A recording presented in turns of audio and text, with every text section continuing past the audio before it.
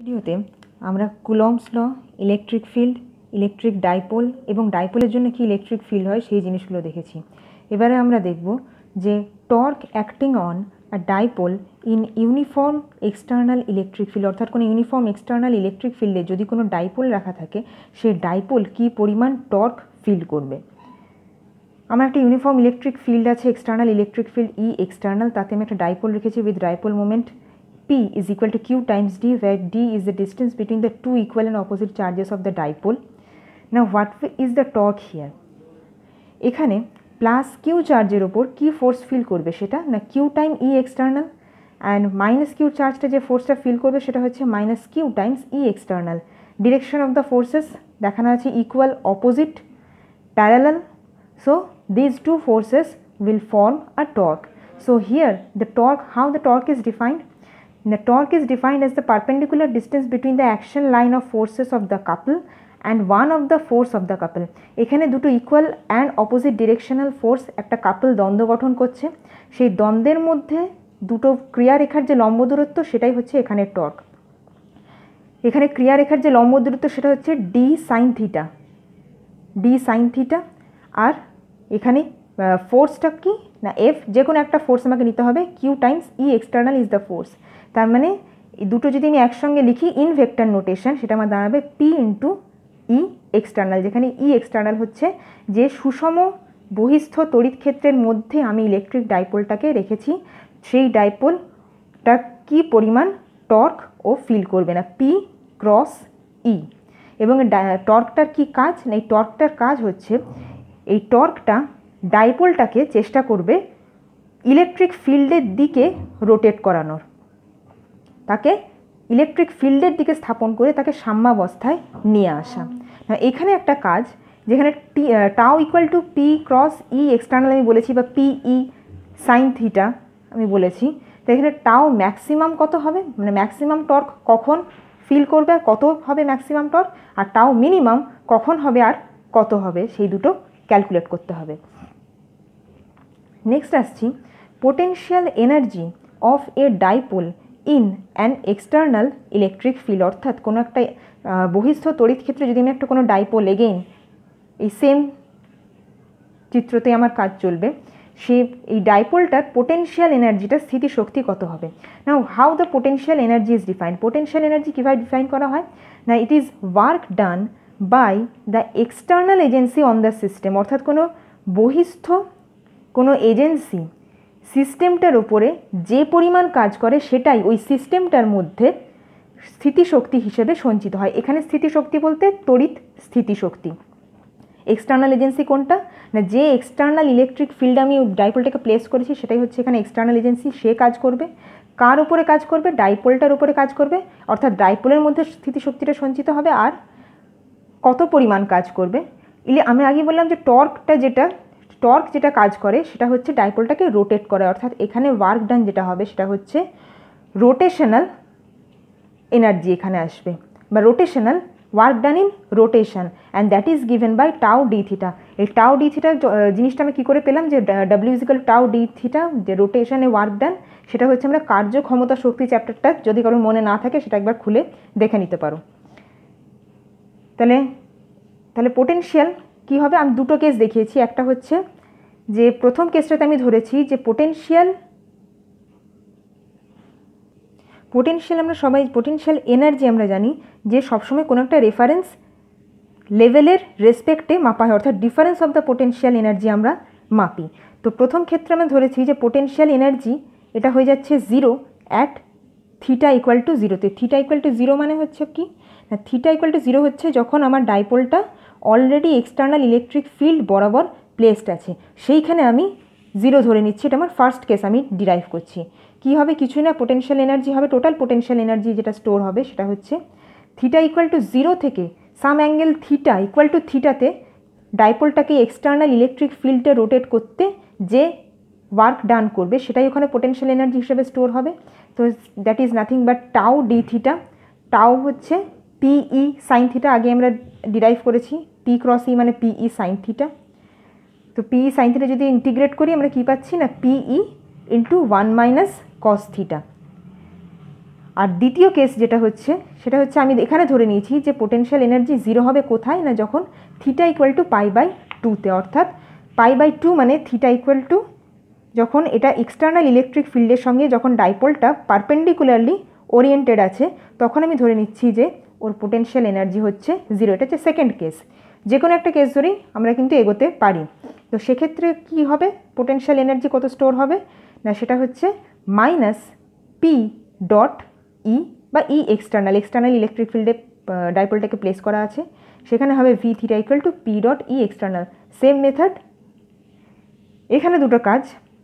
দুটো কেসেই V equal potential energy zero যখন theta equal to zero এই কেসটাতে ভি ম্যাক্সিমাম বা পোটেনশিয়াল এনার্জি ম্যাক্সিমাম কত হবে? পোটেনশিয়াল এনার্জি মিনিমাম কত হবে?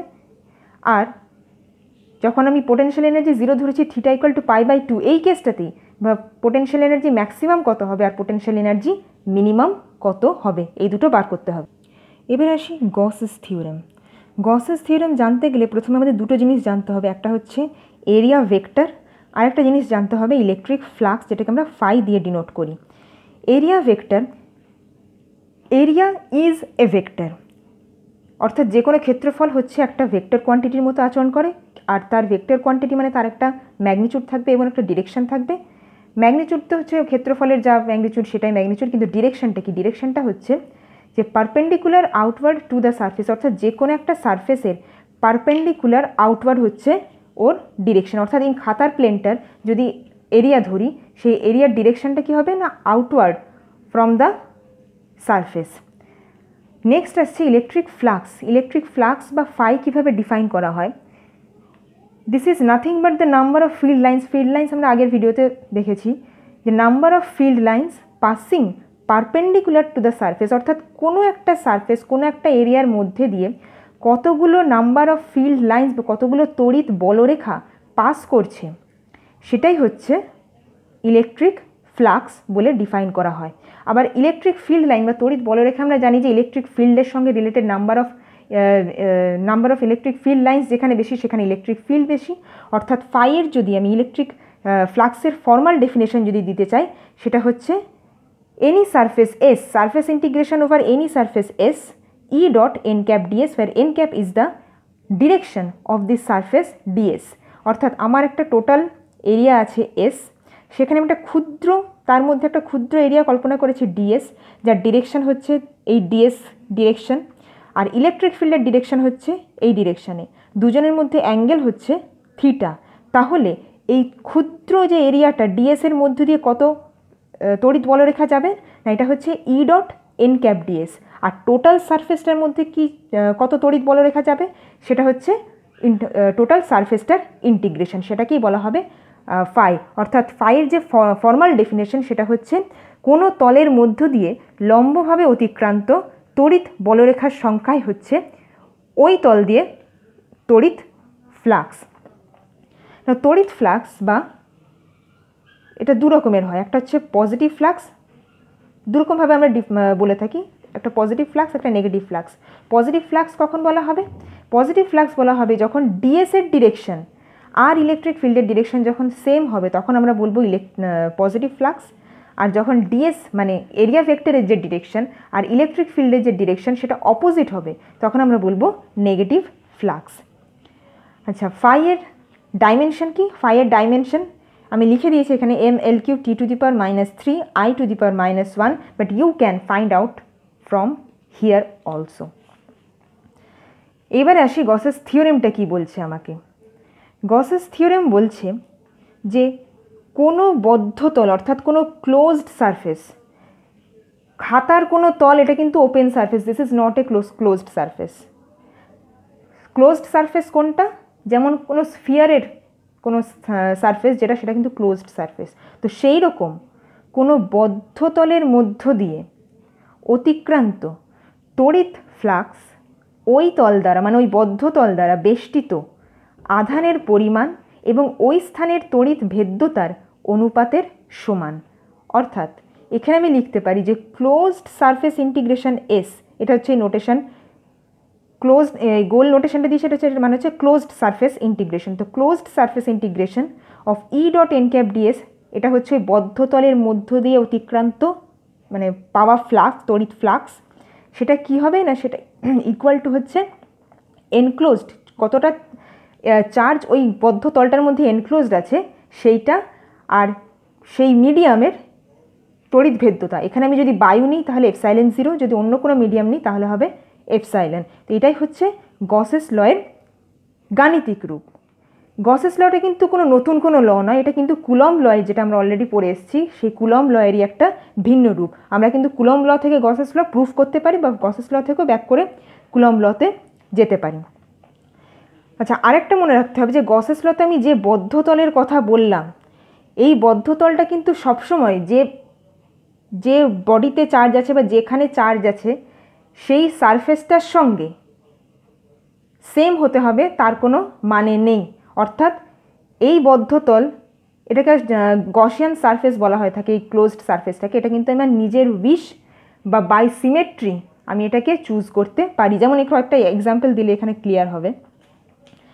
প্রথম হচ্ছে যেটা একটা অ্যাপ্লিকেশন একটা ইনফাইনাইটলি লং ওয়ার আছে ইনফাইনাইটলি লং ওয়ার তাতে সাম চার্জ দেওয়া আছে কিউ পরিমাণ চার্জ দেওয়া আছে, এবং তার লিনিয়ার চার্জ ডেন্সিটি হচ্ছে ল্যামডা আমাকে এই ইনফাইনাইটলি লং ওয়ার থেকে আর দূরত্বে কোনো একটা বিন্দুতে ইলেকট্রিক ফিল্ড কি হবে, এই চার্জটা থাকার জন্য সেটা বার করতে হবে। এই প্রবলেমটা কিন্তু আমরা কুলম ল থেকেও করতে পারি। আমরা অলরেডি করেওছি। যদি কেউ না করে থাকো, করে দেখতে পারো কুলম ল থেকে। কিন্তু গসেস ল দিয়ে যেগুলো সিমেট্রিক্যাল প্রবলেম সেগুলোতে যদি গসেস ল আমরা ইউজ করি, তাহলে কিন্তু প্রবলেমটা সলভ করা অনেক ইজি হয়। যেমন এখানে, আমি এখানে একটা গসিয়ান সারফেস কল্পনা করছি। একটা সিলিন্ড্রিক্যাল গসিয়ান সারফেস আমি এখানে কল্পনা করেছি। আগেই বললাম গসিয়ান সারফেস কিন্তু আমি আমার নিজের ইচ্ছা মতো by symmetry of the problem আমি কিন্তু চুজ করতে পারি। যা যে সিলিন্ডারটা লেংথ হয়ে যাচ্ছে এল আর রেডিয়াস হয়ে যাচ্ছে আর এই আর পয়েন্টে আমি ইলেকট্রিক ফিল্ডটা ক্যালকুলেট করব। তাহলে এই সিলিন্ড্রিক্যাল সারফেসটার মধ্যে আমার কত পরিমাণ চার্জ থাকবে? না লিনিয়ার চার্জ ডেন্সিটি আমার ল্যামডা বলা আছে ইনফাইনাইটলি ওয়ারটার তাহলে ল্যামডা এল পরিমাণ চার্জ থাকবে, অর্থাৎ এই গসিয়ান সারফেসটা দিয়ে, এই যে বদ্ধ তল এটা একটা বদ্ধ গসিয়ান তল এর মধ্য দিয়ে অতিক্রান্ত তড়িৎ ফ্লাক্স যেটা হবে, সেটা থেকে যদি বার করতে পারি, সেটা থেকে আমি ইলেকট্রিক ফিল্ডটা ক্যালকুলেট করতে পারব। তো এই গসিয়ান সারফেসে আমার কত চার্জ এনক্লোজড হচ্ছে? ল্যামডা এল পরিমাণ চার্জ এনক্লোজড হবে। আর ইলেকট্রিক ফিল্ডটা কোন দিকে ডিরেক্টেড হবে? By symmetry of the problem আমরা দেখতে পাচ্ছি যে ইলেকট্রিক ফিল্ডটা এই দিকে ডিরেক্টেড হবে। অর্থাৎ যেটা রাউন্ড যে সারফেসটা আছে, তার পারপেন্ডিকুলার হবে, কিন্তু এই দিকে বা এই সারফেস দিয়ে কোনো ইলেকট্রিক ফিল্ড থাকবে না। রেডিয়াল ইলেকট্রিক ফিল্ড তো তাহলে কি পাচ্ছি আমরা? যদি ওই গসেস ল আমরা দেখ এই লটা যদি ইউজ করি E dot N cap DS সিলিন্ডারের যে রাউন্ড সারফেসটা পার্শ্বীয় তলের ক্ষেত্রফল কত হয়? E into two pi R L DSO এখানে পারপেন্ডিকুলার ইও এখানে পারপেন্ডিকুলার সেম ডিরেকশন তাই E into two pi R L and that is equal to total charge enclosed lambda L by F সাইলেন্সের ধরে নিচে এয়ার মিডিয়ামে আছে। তাহলে ইলেকট্রিক ফিল্ড কত দাঁড়াচ্ছে না? Lambda by two pi epsilon zero R R cap same জিনিস আমরা কুলম্বের ল থেকেও পাই। আচ্ছা এখানে যদি আমি গ্রাফটা আঁকি ই আর আর এর মধ্যে যদি গ্রাফ আঁকি গ্রাফটা এরকম দেখতে হবে। নেক্সট আরেকটা এক্সাম্পলে আসি। এখানেও আমরা গসেস ল দিয়ে কী বার করব? ইলেকট্রিক ফিল্ড বার করব বা ইলেকট্রিক ফিল্ড ইন্টেন্সিটি বার করব স্পেসিফিক্যালি এখানে যে কেসটা সেটা হচ্ছে সুষমভাবে আহিত, পাতলা, গলীয় খোলকের জন্য কোনো বিন্দুতে আউটসাইড অ্যান্ড ইনসাইড দুটো কেস করব। ইলেকট্রিক ফিল্ড আমরা বার করব ইউজিং গসেস থিওরেম এখানে আমি সুষমভাবে আহিত একটা পাতলা গলীয় খোলক নিয়েছি, যার রেডিয়াস হয়ে যাচ্ছে সুষমভাবে আহিত পাতলা গলীয় খোলক। যার রেডিয়াস হচ্ছে এ তাতে চার্জ দিয়েছি আমি ক্যাপিটাল কিউ আর বিন্দুতে, কেন্দ্র থেকে আর বিন্দুতে আমি ইলেকট্রিক ফিল্ড কত হবে সেটা আমাকে বার করতে হবে। এগেন আমি একটা গসিয়ান সারফেস এখানে কল্পনা করছি।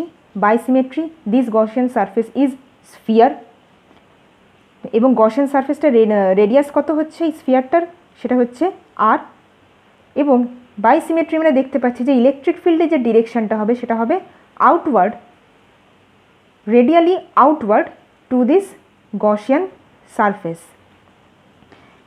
তার মানে এগেইন আমরা যদি গসিয়ান গসেস থিওরামটা ইউজ করি, ওই E dot closed surface integration of E dot N cap DS is equal to Q enclosed by epsilon zero এখানে কি পাচ্ছি? ই আর ডিএসটা একই ডিরেকশানে কেন ডিএসও তো আমরা আউটওয়ার্ড কোনো সারফেস থেকে আউটওয়ার্ড নর্মাল বলেছিলাম। তার মানে ই এর ডিরেকশন আর ডিএস এর ডিরেকশন এখানে সেম অর্থাৎ E into four pi R square Gaussian সারফেসটার surface area কত? Four pi R square that should be equal to Q by epsilon zero Q কেন না? কিউ এখানে এই গসেন সারফেসটা কত চার্জ এনক্লোজ করছে? কিউ পরিমাণ চার্জ এনক্লোজ করছে। তাহলে Q by epsilon zero তার মানে ইলেকট্রিক ফিল্ড কত হচ্ছে? অ্যাট এ ডিস্টেন্স আর না q by four pi epsilon zero r square না এই যে রেজাল্টটা সেটা কি চেনা চেনা রেজাল্ট হ্যাঁ আমরা অলরেডি দেখেছি যে কোনো পয়েন্ট চার্জের জন্য at any distance r electric field ঠিক এইটাই হয়। অর্থাৎ, কোনো সুষমভাবে আহিত, পাতলা, গলীয়, খোলক এমনভাবে আচরণ করে যেন তার সমস্ত চার্জ তার কেন্দ্রে কেন্দ্রীভূত আছে এবং সেখান থেকে আর দূরত্বে আমি কোনো ইলেকট্রিক ফিল্ড বার করছি। কেননা, এটা হচ্ছে ঠিক পয়েন্ট যদি কোনো চার্জ কিউ থাকতো, আমরা এই ইলেকট্রিক ফিল্ডের রেজাল্টটাই পেতাম।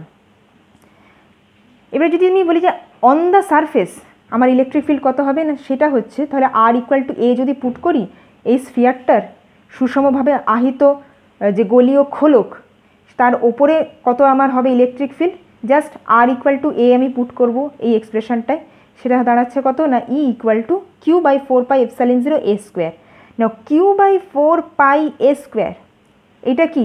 Sigma the surface charge density q by four pi a square. এটা কি? Sigma the surface charge density? Charge by area. তাহলে ই ইকুয়াল টু আমার কী হচ্ছে না sigma by epsilon zero r cap. R cap ডিরেকশনটা কোন দিকে? না outward to the spherical shell এবারে যদি বলি যে ইনসাইড ইলেকট্রিক ফিল্ড কত হবে? ইনসাইডে যদি ইলেকট্রিক ফিল্ড আমি বার করতে চাই এগেইন আমি একটা আর রেডিয়াস এইখানে আমি ইলেকট্রিক ফিল্ড বার করব সাপোজ ইলেকট্রিক সেখানে আমি একটা, তাহলে গসিয়ান সারফেস নিচ্ছি। এগেন একটা spherical Gaussian surface with radius r এবং ইলেকট্রিক ফিল্ডটা এগেইন এখানে outward radially outward with the same direction of ds ds হচ্ছে গসিয়ান সারফেসের ডিএস বা এরিয়া স্মল এরিয়া তাহলে এখানে কি একই গসেন গসেস থিওরেম লাগাচ্ছি? E dot E into four pi r square E r ds একই ডিরেকশন সেম ডিরেকশনে সেই জন্য সোজাসুজি লিখে দিয়েছি E into four pi R square theta is equal to zero here সেই জন্য into four pi R square is equal to Q enclosed by epsilon zero না এই যে গসিয়ান সার্ফেসটা যেটা ডট ডট লাইন নিয়ে দেখেছি, এর মধ্যে কি কোনো ইনক্লোজড চার্জ আছে? না। কেননা যে এনক্লোজড চার্জ সবসময় যে কোনো, আগেই পড়েছি সারফেসে অবস্থান করে। তাহলে এখানে আমার হচ্ছে কি electric field zero because Q এই গসিয়ান সারফেসটা এর ভেতরে কোনো এনক্লোজড চার্জ নেই। অর্থাৎ যে কোনো সুষমভাবে আহিত গোল খোলকের ভেতরে ইলেকট্রিক ফিল্ড সবসময় জিরো। এটা আমরা গসেস থিওরেম থেকে পেলাম। ম্যাথমেটিক্যালি আমরা পেলাম। But your work is explain with logic যে কেন পেলাম? এটার পেছনে ফিজিক্যাল রিজনটা কি? নেক্সট আসছি ইলেকট্রিক পোটেনশিয়াল বা তড়িৎ বিভব। তড়িৎ বিভবকে যদি এক কথায় বলতে হয় তাহলে সেটা হচ্ছে state of the electrified object that decides the direction of the charge flow অর্থাৎ আমরা যেমন যখন দুটো তাপ কোন দিক থেকে কোন বডি থেকে কোন বডিতে ফ্লো হবে সেটা যেমন ডিসাইডেড হয় তাপমাত্রা দিয়ে, বা জল কোন দিক থেকে কোন পাত্র থেকে কোন পাত্রে ফ্লো করবে সেটা যেমন স্থির হয় জলতলের উচ্চতা দিয়ে বায়ু কোন স্থান থেকে কোন স্থানে ফ্লো করবে সেটা যেমন ডিসাইডেড হয় চাপ দিয়ে, বায়ুর চাপ দিয়ে সেই স্থান দুটোর, সেরকমই চার্জ কোন দিক থেকে কোন দিকে বা কোন বডি থেকে কোন বডিতে ফ্লো করবে সেটা ডিসাইডেড হয় যে ইলেকট্রিক্যাল স্টেট বা অবস্থা দিয়ে কোনো বস্তুর বা কোনো অবজেক্টের দ্যাট ইজ ইলেকট্রিক পোটেন্সিয়াল বা তড়িৎ বিভব। না, এই যে উদাহরণগুলো আমি বললাম, সেখানে আচ্ছা তার আগে এটা বলে নিই যে potential of any positively charged body সেটাকে আমরা বলি, সেটা হচ্ছে হাই পোটেনশিয়াল বলা হয় পজিটিভলি চার্জড বডির যে পোটেনশিয়াল সেটাকে হাই পোটেনশিয়াল বলা হয়, আর, বা পজিটিভ পোটেনশিয়াল বলা হয়, আর নেগেটিভ পোটেনশিয়াল বলা হয়, যদি নেগেটিভলি চার্জড কোনো বডি থাকে সেটাকে, তার পোটেনশিয়ালকে বলা হয় নেগেটিভ পোটেনশিয়াল এরপরে আসি, এই যে এক্সাম্পলগুলো আগে বললাম, সেগুলো সমস্ত কিছুই দেখছিলাম যে জলের যে ফ্লো সেটা কি হচ্ছিল? যেখানে জলতলের উচ্চতা বেশি, সেখান থেকে যেখানে জলতলের উচ্চতা কম, সেদিকে ফ্লো হয়। তাপমাত্রা যেদিকে বেশি, সেখান থেকে তাপ ফ্লো হয়, যেদিকে কম তাপমাত্রা। বায়ুর যেদিকে চাপ বেশি উচ্চচাপ থেকে নিম্নচাপের দিকে বায়ু প্রবাহিত হয়। কিন্তু ইলেকট্রিক পোটেনশিয়াল সেখানে ইলেকট্রিক যে ইলে চার্জ হাই পোটেনশিয়াল থেকে লো পোটেনশিয়ালও ফ্লো করতে পারে লো পোটেনশিয়াল থেকে হাই পোটেনশিয়ালও ফ্লো করতে পারে। পজিটিভলি চার্জড বডির পোটেনশিয়ালকে আমরা হাই পোটেনশিয়াল বলে থাকি ইন জেনারেল আর নেগেটিভলি চার্জড বডির পোটেনশিয়ালকে আমরা লো পোটেনশিয়াল বলে থাকি ইন জেনারেল এবং কি হয়? এই প্রবাহটা কিন্তু দ্বিমুখী, অর্থাৎ চার্জ কিন্তু হাই পোটেনশিয়াল থেকে লো পোটেনশিয়ালেও যেতে পারে, আবার লো পোটেনশিয়াল থেকে হাই পোটেনশিয়ালেও যেতে পারে। অর্থাৎ দ্বিমুখী প্রবাহ হতে পারে চার্জের ক্ষেত্রে।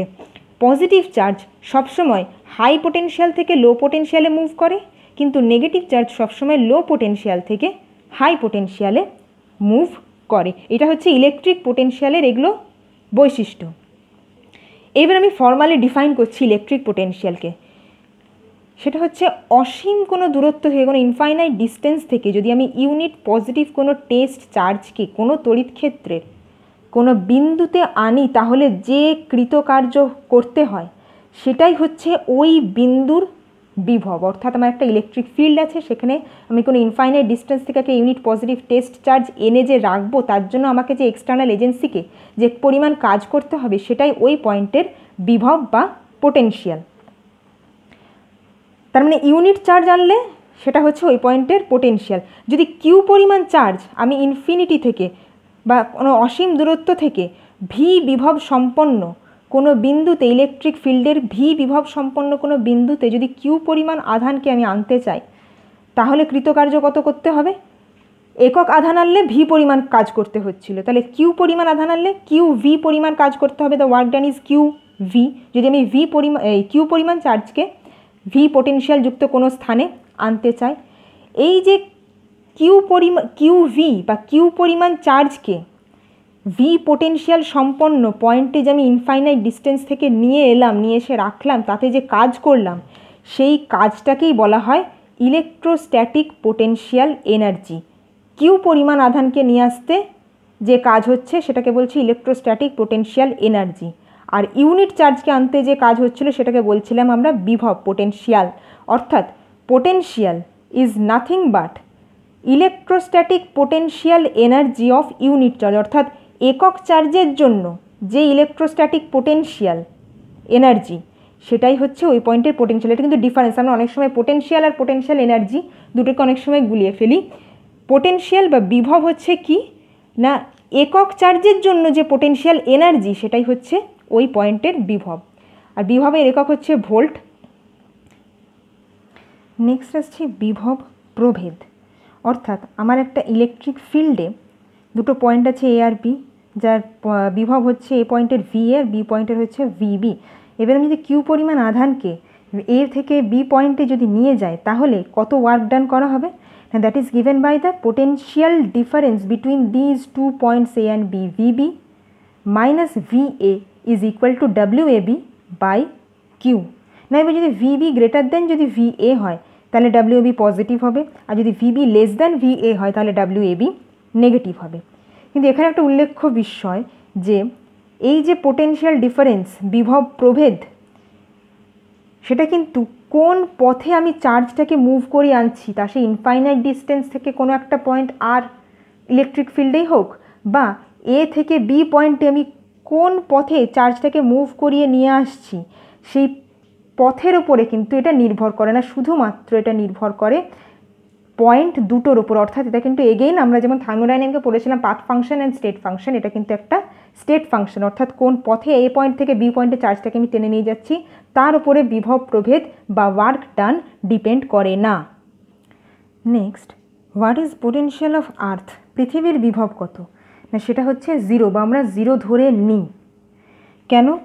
না, পৃথিবী একটা বিশাল বড় পরিমাণের ইলেকট্রিক কন্ডাক্টর এবং এটা একটা হিউজ স্টোরেজ অফ চার্জ তার জন্য আমরা পৃথিবীর পোটেনশিয়ালকে জিরো ধরি, কেননা সেখান থেকে যদি কিছু পরিমাণ আধান তুলে নেওয়া হয় বা কিছু পরিমাণ আধান যদি পৃথিবীতে যোগ করা হয়, তাহলে কিন্তু পৃথিবীর বিভবের কোনো পরিবর্তন সেরকম লক্ষ্য করা যায় না। যেমন সমুদ্রের জলে আমি যদি এক্সট্রা কিছু দুবিন্দু জল যোগ করি বা তুলে নিই, সমুদ্রের জলতলের কোনো পরিবর্তন হয় না। ঠিক সেই জন্যই সেরকমভাবেই পৃথিবীর বিভবের খুব একটা বেশি চেঞ্জ দেখা যায় না। যার জন্য আমরা পৃথিবীর বিভবকে সবসময় জিরো ধরে নিই এবং পৃথিবীর বিভবের রেসপেক্টে আমরা সমস্ত কিছু হিসেব করি।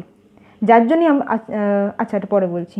এবারে যদি দুটো আমার কাছে বডি আছে, একটা পজিটিভলি চার্জড পজিটিভলি চার্জ মানে হাই পোটেনশিয়াল বলা হয়, আর নেগেটিভলি চার্জ মানে লো পোটেনশিয়াল বলা হয়, আগেই বললাম।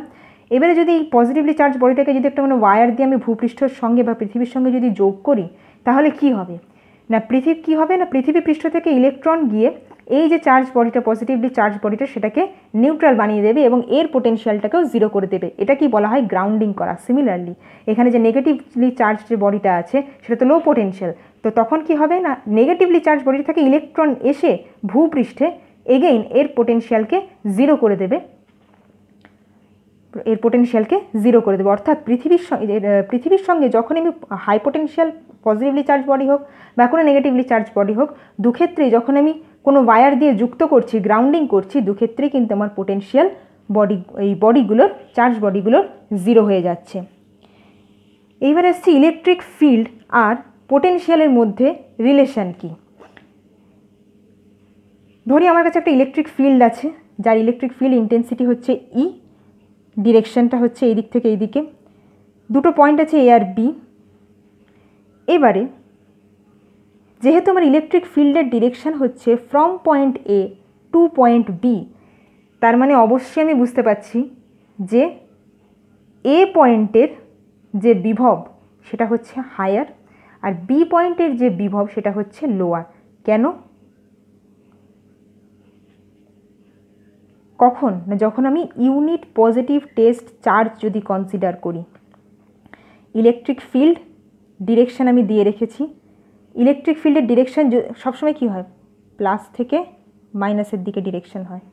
তার মানে এই জায়গাটা, এ পয়েন্টটা হচ্ছে হায়ার পোটেনশিয়ালে আছে বি পয়েন্টটা আছে লোয়ার পোটেনশিয়ালে এবারে যদি একটা একক ধনাত্মক আধানকে আমি বি থেকে এতে নিয়ে যেতে চাই, তাহলে কত কৃতকার্য হবে? না, সেটা হচ্ছে E into DX unit positive test charge ফোর্সটা force আর ইলেকট্রিক ফিল্ড ইন্টেন্সিটি এখানে সেম তাহলে ই ইন্টু ডিএক্স মাইনাস সাইনটা ই হচ্ছে এই ডিরেকশানে আর ডিএক্স হচ্ছে এই ডিরেকশানে বি থেকে এতে নিয়ে যাব। সেই জন্য দুটো অপোজিট ডিরেকশানে বলে এখানে মাইনাস সাইন দিয়েছি। এবং এই যে কাজটা হবে মাইনাস ই ডিএক্স সেটাই হচ্ছে ওই দুটো পয়েন্টের এ আর বি এর বিভব প্রভেদ। অর্থাৎ V A minus V B is equal to now minus E dx এবং আলটিমেটলি যেটা পেলাম যে E equal to minus dV dx এটাকে যদি থ্রি ডাইমেনশানে আমি এইভাবেও লিখতে পারি যে minus E dot dr is equal to dV এটা ওয়ান ডাইমেনশনে ছিল equal to minus dV dx R three ডাইমেনশানে হচ্ছে minus E dot dr is equal to dV